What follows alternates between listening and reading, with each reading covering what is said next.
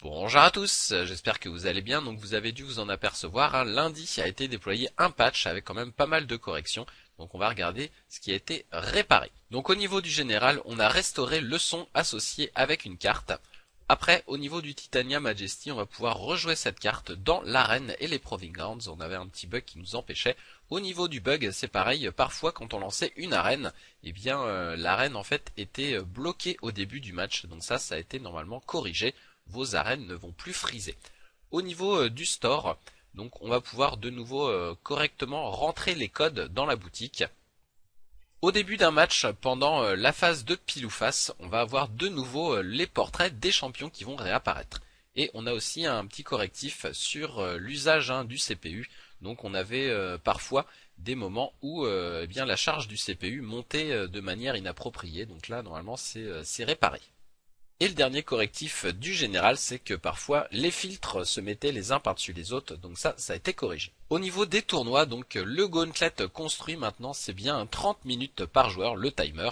En mode draft, quand vous utilisez une carte pour la mettre dans la réserve, et eh bien maintenant elle est bien placée correctement dans cette réserve. Ensuite, un fixe aussi très important, donc en mode gauntlet construit, si vous étiez dans les réserves, et eh bien votre decklist se sauvegardait et euh, bah, cette sauvegarde persistait même après que vous étiez parti, que vous recommenciez un nouveau match. Du coup, bah voilà, hein, par exemple, vous affrontez un deck Blood, vous modifiez votre decklist et du coup cette decklist se sauvegardait même après quand vous affrontiez pour la première fois un deck Ruby Wild. Du coup, vous étiez bien déçu, hein, vous aviez pas, eh bien votre euh, votre main decklist, vous aviez la decklist toute modifiée. Donc ça, ça a été réparé.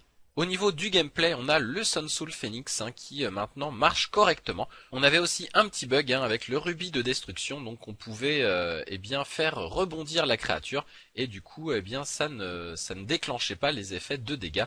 Donc là maintenant hein, la, gemme remarche correctement. Donc les effets de dégâts faits par le rubis de destruction ne peuvent pas être prévenus par euh, le fait d'enlever cette troupe du jeu.